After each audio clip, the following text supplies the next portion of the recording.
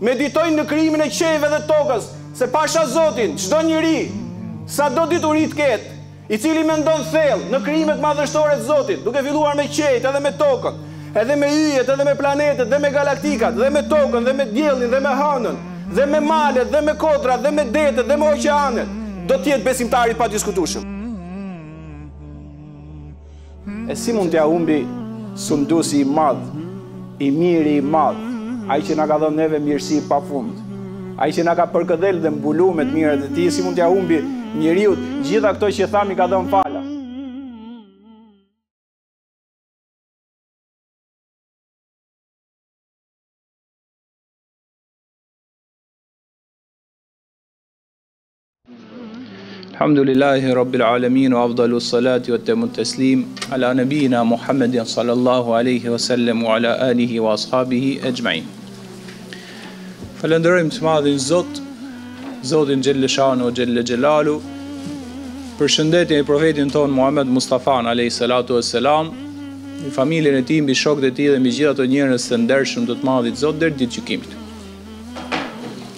Këto pak minuta që kemi,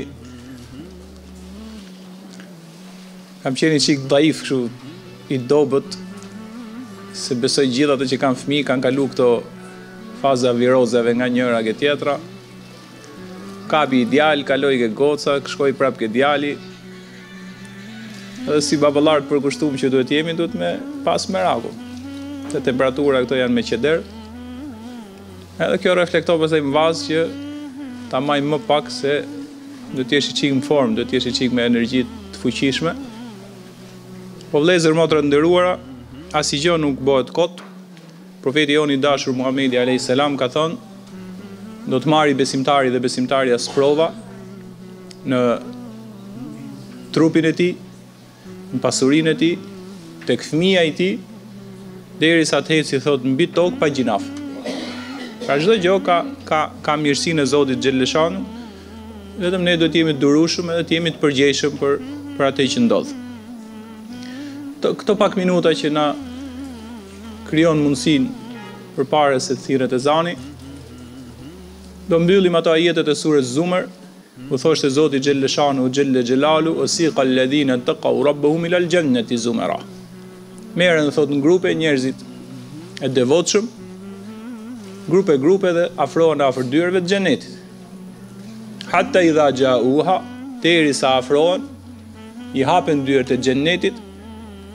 Dhe roja i xhenetit, i dyerve të xhenetit, thotë selamun alejkum tibtum fadkhuluha khalidin. Tre gjëra i thotë ai para se të japi leje me hy në xhenet. E para ajo shprehja e famshme që ne e kemi që në këtë botë selamun alejkum. Paqja e Zotit qoftë me ju.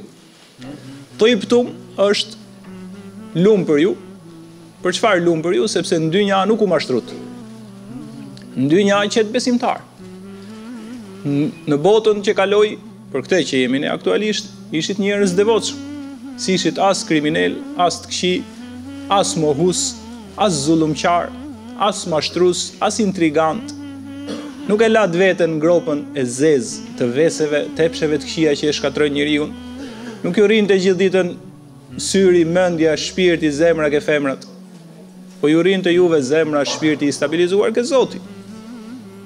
U me vendosmëri të madhe punuat që mos të bishit pre e veseve të drogës, t'alkoolit, Që janë të shpërndame.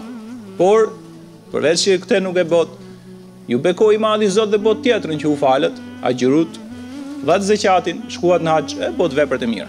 Ai ka thonë, engjëlli i thotë përkufizume, ne i themi atë kuptimin që ka ajeti, tibtum do thotë lum për ju sa të mirë keni qenë në dynja.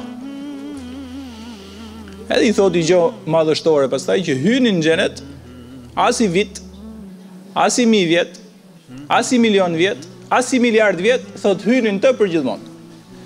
Dhe vëllezër motra të nderuara ka një parim. Ai që hyn xhenet nuk del më. Ai që hyn zjarr xhenemit ka i shans me dal. Këto janë dy koncepte të ndara në Islam. Kush hyn xhenet, s'del më është i përjetshëm aty. Kush hyn zjarr xhenemit ka mundësi me dal. Kush del? Mohuesit nuk dalin më. Kush e ka mohu Zotin ka qenë jo besimtar, nuk del më. Ato që i kanë bo Zotit ortak dhe shok, kanë thonë është i Zot që e krijoi këtë univers, po ishte edhe i tjetër, ka i bashkëshorte që e kanë bërë bashkë universin, ka i babë, ka i djalë, ka i çun xhaje, ka i statuj, ka i varr, e me radhë gjëra që e shkatrojnë besimin. Ky s'del më, Se ky e ka besu Zotin me ortak. Ky ka adhuru dhe zotra të tjerë përveç Zotit t'vërtet. Kush del? Del muslimani dhe muslimania që ditë gjykimit dalin me matematik minus, që do thot më shumë dalin me vepra të këqija se sa me vepra t'mira. Këto shkojnë në xhenem derisa paguajnë borxhet e gjinafeve që kanë pas dhe pastaj me lejen e të madhit Zot i qofshim fal shkojnë në xhenet. A ka argument për këtë? Pa fund. E vetëm i gabim madh un s'ulem nanjiher këtu me bo gabimin më të madh me fol nga mëndja ime. Hasha lillah. Kam për bo sipër toke të bëj çdo gjinaf tjetër përveç kësaj. Kuptimin me mrra situata apo me u gënjy nga shejtani këte s'e bëj dot, që t'ulem këtu dhe të flas nga mëndja ime ose të flas gënjeshtra në lidhje me të madhin Zot i qofshim fal. Atë që themi jan ato që kan thon ulemat e ymetit një mijë e katërqind e tridhjetë e shtatë vjet në raport me konceptet bazë që vijn nga mjalti i Kuranit dhe jetës profetit alejhi selam. Një nga argumentet unë e kam dasë sot me ju që muslimanët dhe muslimanet që kanë pas kusure do shkojnë zjarr xhenemit. Nuk mundet dot me gjithë se ke qenë musliman, përveçse nëse të fali i madhi Zot ose të mëshiron. Po po themi ke qenë 90% musliman ke qenë. Po 90% ke pas gjinafe, 10% ke pas të mira, do shkosh në zjarr. Se ke bë zullume mbi tokë që e ke mbush kupën. Dhe Muslimanët fillojnë, pastaj kjo është tematikë e gjerë, fillojnë me shefatet, fillojnë mbushin afatet e burgut zjarrit xhenemit dhe dalin e dalin elhamdulillah i rabbil alamin koh mas kohe herë pas here gjendje mas gjendje duke dal duke dal nga xhenemi për në xhenet ato të devotshmit e thamë që më start shkojnë xhenet wasiqa alladhina taqau ato që ishin të devotshëm shkojnë direkt në xhenet po flasim për ato të cilët Kan pas më shumë gjynahe se sa të mira. Profeti alayhis salam na e bën më të qartë, na ka treguar neve një transmetim ku thot: Dalin, dalin, dalin, dalin dhe ngel vetëm një. Ky është i fundit thot që del nga xhenemi për të shkuar në xhenet. Mbas këtij, ato që kanë qenë mohus dhe i kanë bërë ortak Zotit, shok, shirk që quhet, ato ngelin aty. Ka dhe një koncept për ato, po që s'është për këtu. Është i çik koncept tjetër gjë, s'do t'ju ngatroj me atë. Se edhe për ato ka i koncept, po nuk është për këtu. E kanë shtjellu dijetarët, po janë ato literaturë kshu, që do i çik të futesh. Me e thonë nuk këtu nuk kuptohen. A është tjetër gjë e lejmë atë. Jemi këtu. Po edhe për ato është pa. Do sha do vijë dita, unë do ta them. Jemi këtu që i fundit del. Dhe imagjino thot profeti alayhis salam, duke dalë dhe zjarri i xhenemit duke e godit. Problemet e zjarrit i burgu i zjarrit xhenemit, burgu i xhenemit ti jep shqetësime, probleme, s'durohet burgu kësaj bote, jo më hasha lilla burgu i zjarrit xhenemit. Është burgu total i drejtësisë hyjnore. Thotë e godet dhe kur e godet zjarri ai rrëzohet. Ky është transmetim i vërtetë ke Buhari, ke Muslimi i padiskutueshëm. Thotë herë rrëzohet, herë ecën me këmbët e veta për t'dalë se ju dha urdhër dhe leje nga Zoti i botrave, dil. Edhe thotë me zor, me hall të madh, me problem të madh, herë duke ecur i rrëzuar me këmbë dhe me duar, herë në këmbë, po me vështirësi del. Por natyra njerëzore është si për shembull ke kaluar i smundje, sa shërohesh e harron. Shërohesh, kalon një ditë, dy ditë, tre ditë, i javë, të duket sikur s'ke qenë ndonjëherë i smur. Kështu është natyra njerëzore, kështu e ka bë i madhi Zot. Dhe ky del edhe kënaqet shumë tani se s'po e kaplonte më dënimi i zjarrit xhenemit. Dhe fjalia e parë që thot sa subhanal ladhi nexhani mink. I lartësuar shumë është ai i cili më shpëtoi nga ty. Pra i lartësuar është Zoti i Madh që më shpëtoi nga zjarri i xhenemit, që më shpëtoi nga ty. Dhe i madhi Zot siç transmetohet në transmetim të vërtetë, dhe ky është i fundit, pastaj mbyllen dyert e xhehenemit, nuk del më kush.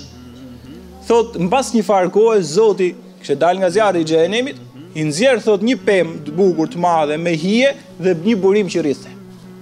Tani imagjinoje një person që ka qenë i dënum, Me probleme të mëdha, tani i del përpara një pemë e madhe thot me hije dhe me një burim të këndshëm, të freskë. Çfarë do thot? Iu kthy o Zot. Më afro mu ka ajo të futem në hijen e saj, të pi nga uji i saj, të shijoj nga ajo. Dhe i madhi Zot që i jep çdo gjë, dhurusi, ma, një nga emrat e Zotit është Wahhab, që do thotë dhurus pafund, kërkoji do të japi. Të ka dhënë pa kërku. Ka mendu me të kriju ty, pra ka dëshiru me të kriju ty, përpara se sa ti të dojshe me kriju veten tënde, se s'ke qenë i zoti, se ke qenë në inekzistencë. Imagjino sa i mirë është ai. Dhe i thotë Zot, po thotë do të fus këtu, do ta jap dhe këtë, megjithëse ishe për në zjarr xhenemit të shpëtova, nxora, kërkove këtë do ta jap me një kusht. Mbasi të shijosh këtë burimin, Të jesh ke kjo hija, ke kjo pema e këndshme dhe e madhe, më jep fjalën që s'do më kërkosh gjë tjetër më. Mbas kësaj. Pra me drejtësi edhe me mëshirë pak, kaq të takon edhe është shumë. Robi është i nxitushëm dhe i tha, Zot, vetëm këtë m'ip nuk du gjë tjetër më. Pra, me kuptimin që po më dhe këtë, çfarë të kërkoj tjetër, unë isha n'zjarr xhenemit, kjo është mirësi e madhe. Zot i gjithësisë, fuqiploti që i thot, bëhu, bëhet e ka n'dorë gjithçka. Prandaj është nder të lidhesh me atë. Prandaj s'ka asnjë lloj nderi të lesh atë të lidhesh me dikënd nga krijesat. Është turp i madh në fakt. Quhet injorancë e madhe në teologjinë islame, që të lesh lidhjen me sundusin e madh t'gjithësisë që i thot diçkaje bëhu dhe ajo bëhet i gjithëfuqishëm, i gjithëpushtetshëm, ka në dorë gjithçka. Edhe të lesh atë tani e të merresh me krijesa të vogla të kësaj bote siç janë njerëzit në çdo lloj pozicioni që të jenë. Kjo quhet injorancë e madhe shumë në Islam. Prandaj I dha urdhër dhe u fut. Mbasi i shijoi, i madhi Zot duke e ditë natyrën njerëzore i nxjerr një pemë tjetër, më të madhe, më të hijshme, me burim më të madh, me freski më të madhe, me hije më të madhe, me mirësi më të madhe. Thot profeti alejhi selam, duroi sa duroi dhe e kërkoi atë. I tha Zoti i botërave tha, a e don po, po më dhe fjalën që s'do kërkosh më. Tha zoti im ma ip edhe kët edhe t'jap fjalën që s'të kërkoj gjë tjetër. Në fakt prap e kishte tepru se mbasi zoti i pasqyroi një pemë tjetër më të madhe, më të mirë, ishte duke sprovu në kuptimin e asaj ambicies që ka njeriu dhe kërkon gjithmonë edhe nuk e mban fjalën, sa herë i themi Zotit ne kur mbushmi me iman, s'kam për ta ba kurrë gjynafin më, edhe mbas i farë kohe vetëm kur bëjmë gjynaf. Kjo është natyra e njeriut. Dhe Zoti xhele shanuhu, kur ia nxori t'tretën, i tha po të njëjtën gjë. Tha, Zot edhe atë edhe s'ka më. Sa u afru ke kjo, i madhi Zot donte me e çu në vend t'begatshëm. Sa u afru ke e treta, pa dyert e xhenetit, dhe i mundësoi Zoti t'dëgjojë zërat e lumtur të atyre që i kishin hy n'xhenet.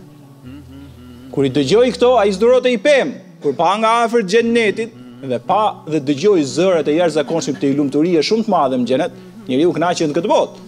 E ka instaluar, e ka skalit njeriu lumturinë. Zoti te njeriu lumturinë kur gëzohet ti edhe e kupton ti nga fytyra e tij dhe nga zëri i tij sa i lumtur është. Tani imagjinoje në xhenet që ke fituar përjetësinë. S'ka më asnjë lloj shqetësimi, asnjë lloj problemi, asnjë lloj halli, vetëm lumturi, mas lumturie, mirësi, mas mirësie, Thot fadlun min rabbik mirësi e Zotit tënd e pakufishme. Sunduesi i madh e ka përcaktuar këtë, jo ne.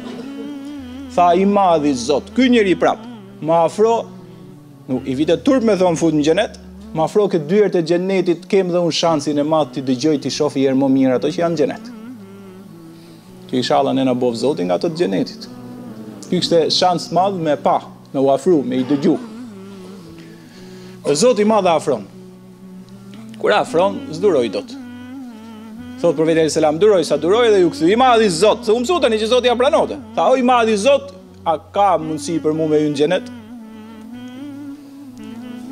I ka thon Zoti i gjithësisë, po. I ka thon sa don, me sa je i kënaq, Tani ky ishte i fundit që po hynte në xhenet. Pra dhe janë janë janë çështje të mëdha shumë.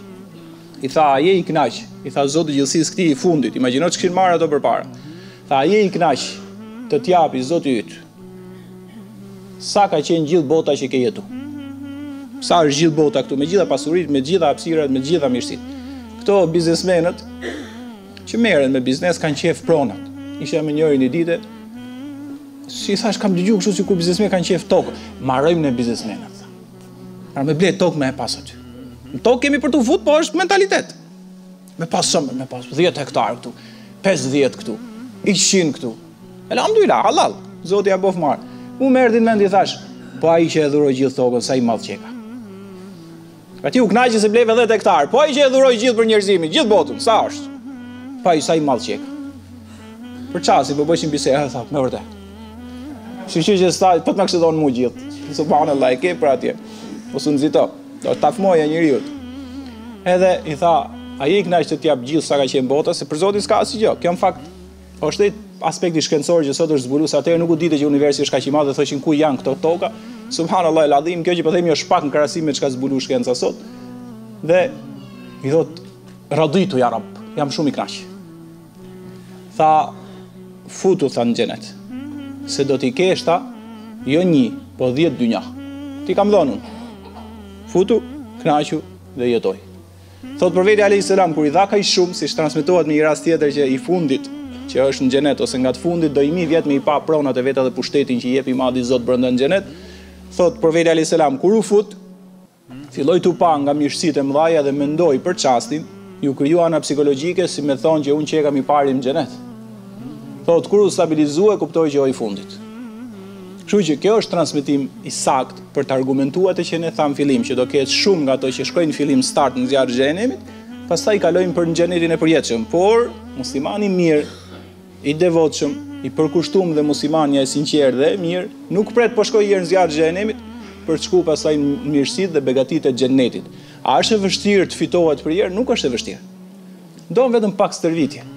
Ke futbollistë sot me emër në botë që bëjnë një stërvitje të jashtëzakonshme heroike për të qenë futbollisti më i mirë në botë, apo për të qenë një ndër futbollistët. Ke sot filma, aktorë të mëdhenj, film mas filmi, telenovelë mas telenovele, po të lexoni se sa energji harxhojnë, s'kanë mundësi të takojnë familjet e tyre, s'kanë mundësi të gjejnë kohë që të rrinë dhe të qetësohen, pse tahmaja për lekun e për kohën e për këto, ka bërë që ai për ta arrit atë. Kurse neve duhet të ushtrohemi, nuk e ka bërë kaq të vështirë, e ka bërë shumë më të lehtë për ta fituar xhennetin, e ka bërë me një lloj mirësie ditore, që janë falja ditore, që janë mirësit, edhe mbi të gjitha të ruhemi, kjo është pak e vështirë, sepse duhet të ruhemi nga zullumet, nga gjynafet, nga veset, nga epshet e këqija t'cilat e shkatrojnë njeriun vetë, se Zoti ngelet, po Zoti i gjithësis, na shkatërron ajo neve, na bën dëm edhe na çon pastaj drejt botës s'keqe, avash avash fillon e harron besimin, fillon me argumentet e dynjas, t'shkon mendja pastaj ke bixhozi, t'shkon mendja ke femra, t'shkon mendja ke alkooli, t'shkon mendja ke droga, t'shkon mendja ke duhani. E të gjitha këto të bëjnë që ti mos ta ndjesh sepse besimi është aq i kristalt, aq i pastër, aq i mirë sa nuk mund të mbijetojë me vesin dhe me epshet e këqija. Kjo ka problemin e vet dhe kjo është ajo që në fakt është e vështirë. Që ishalla Zoti i Gjithësisë neve do të na bëjë që të jemi nga ato që janë t'devotshëm. Koncepti i xhennetit tregohet për dy persona për këto dy minutat e fundit jetojshin me i fshat shumë të thellë këtu në Shqipëni. Edhe subhanallahu, iu kishte fiksu se robi sipas vendit edhe u zishin për i pem, dikush thotë është në tokën time, ky tjetri i thotë është tokën time mos e zgjat se të vras. Mas u zin dy vëllezërit, u futën nuset. Ne e thamë edhe xhumanë që kaloi, ka dhënë profeti nusja e mirë është gjysë e besimit. Nusja e keqe është gjysma shkatrrimit besimit edhe të njerëzisë. Pra varet se çfarë bashkëshortje është, unë do i kam projekt ca tema që do t'i flas për martesën e për dobitë si ta zgjedhësh nusen e me radhë. Kjo nuk është e sotme, fillon debati, hynë dhe fmitë. Mbasi u zinë keq herë u shtyjshin herë kështu e u, u kriju një gjendje problematike, Del ky që ishte këtej nga krahu tjetër dhe ai duke u futur në shpinën e vet, tha, pema imja, bërtiti. U zijshin për atë pemë, ishin fiksu a është në tokë time apo të tate. As kishte dhe nej vlerë të madhe, si të bote për 500 euro, edhe mund të kishte i kuptim. Kot nuk e blente njeri, fiksimi, shejtani mallkum. Dhe ky i tha, iu kthy ky, ky që ishte zi deri dje, tha po, E jotja pema, merre dhe një metër tokë, edhe hyri si, si krenar, si kompetent, shpi thu po, mo ky ishte bo engjëll. Edhe iu mërzit më shumë për këte. Dhe shkoi i trokiti, ku u bore ti kaq i mirë, po mi për këti pemën, ne kemi kohë që zihemi, thu merre dhe, për çfarë më bore, për ofendim, duke kërku, gjithmonë ishe fiksu. Jo, jo, i tha, ta them me gjithë men. Merre pemën, Edhe tokën se për mu s'ka vlerë, e don dhe shpinë, ky u mërzit më shumë. Tani kur zihesh për i pemë jep dhe shpinë jep dhe tokën. Edhe tha seriozisht e ke, po seriozisht tha. Po ku më u bëre kaq tolerant, ku u bëre kaq i mirë, ku u bëre kaq i moralshëm ti? Ti deri sot dilçe me nusën tu u zi me mua. Tha, kam mendu me shku me jetu në Tiranë.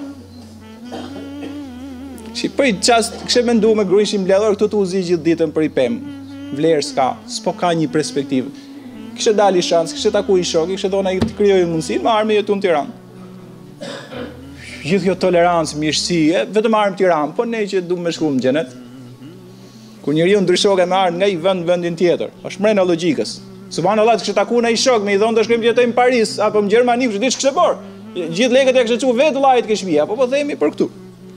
Kjo na jep neve konceptin, që njerëzit që duhet me shku në xhenet, duhet të jenë më të mirë, duhet të jenë më tolerantë, duhet të jenë më të moralshëm, po shef nejherë muslimani, me atë që s'beson që s'ka as i shpresë, kokën e ka vetëm këtë dynja ça bon, është më i rreptë muslimani, më i pasjellshëm muslimani sesa ai që s'është. S'ke kuptu gjë nga kjo. S'e ke idenë fare se ç'a bohet në botën tjetër. Nuk e ke idenë që ty të shton një perspektivë me fitu përjetësinë. Kjo që parë në këtë këndvështrim, njerëzit që e kuptojnë mirë gjënë nuk janë tamahqarë mas kësaj bote. Njerëzit që e dinë që do ketë jetë të përjetshme atje i përkushtohen. Jeto në këtë botë thot sikur s'do vdesësh kurrë, puno për botën tjetër sikur do vdesësh nesër. Ky është koncepti i madh që në dashtë i madhi zot ne duhet ta kuptojmë. Thot pastaj në fund, Që ta mbyllim këtë sure Zumer, we teral melaikete hafine min haulil arsh, jusebihune bihamdi rabbihim. I shikon thot engjëjt që janë rreth arshit, Zotit gjithësisë, me këtë mbyllet sure Zumer, i shef rreth arshit zotit, po janë me miliarda dhe me triliarda, engjëj, që bëjnë tavaf rreth arshit zotit, edhe e madhërojnë thot dhe e lartësojnë shumë Zotin e gjithësisë. Engjëjt që janë rreth arshit dhe engjëjt që mbajnë arshin e Zotit gjithësisë. Ato punën kryesore, detyrën kryesore e kanë me madhëru dhe lartësu Zotin, po kanë dhe i punë tjetër dhe i detyrë tjetër. Janë shumë të mëdhej në qenie dhe kanë i detyrë tjetër përveç detyrës së madhërimit Allahut. A di kush është kjo tregon vlerën e njeriut? Ato i ka urdhru i madhi Zot, mbasi bëjnë madhërim dhe falënderim shumë për Zotin e gjithësisë, ato kanë dhe i detyrë tjetër. Thot Zoti në Kur'an, vetë e ka shpjegu në Kur'anin famëlartë, "Alladhina yahmiluna al-arsha wa man hawlahu yusabbihuna bihamdi rabbihim wa yu'minuna bih." Ato të cilët janë që mbartin arshin e Zotit gjithësisë thot dhe ato që janë po pafund ato që bëjnë tavafin rreth arshit dhe madhërojnë Zotin thot dhe i friksohen dhe kanë frikë respekt madh për Zotin. Normal, se e njohin shumë mirë. Dhe kanë dhe i detyrë tjetër, çfarë është detyra tjetër fisnike e madhe shumë që na vjen begati neve, wa yastaghfiruna lilladhina amanu rabbana, wasi'ta kulla shay'in rahmatan wa ilma. Thot, kërkojnë falje për njerëzit besimtarë që janë n'tokë për ne. O shpresë e madhe kjo, se delti në ditë gjykimit s'ke bërë gjë. Thot Zoti, mëshironi, mëshironi, po pse? Se engjëjt e të madhit Allah pa gjynahe, që janë atje që e madhërojnë, mund t'ja ketë pranu i madhi Zot kur janë lutë për ne. Tekst kurani i qartë, wa yastaghfiruna lilladhina amanu, dhe kërkojnë falje për njerëzit e tokës. Ato e dinë belanë tonë sprovës, që ne jemi n'sprovë, ato janë rahat në këtë aspekt, nuk sprovohen, ato njohin vetëm të mirën dhe janë automatik në të mirën, vetëm krijesa njeri edhe xhindët janë sprovun nga e mira dhe nga e keqja. Që të bëhesh i mirë, duhet lësh të keqen. Biles që të bëhesh i mirë, Don kohë të gjatë që të bëhesh i keq, hajde dalim për 2 minuta, zihu me njërin nga rruga u bëre i keq. Për t'u bërë i mirë nuk bëhesh dot për 2 minuta, do investim, do stërvitje, do përkushtim.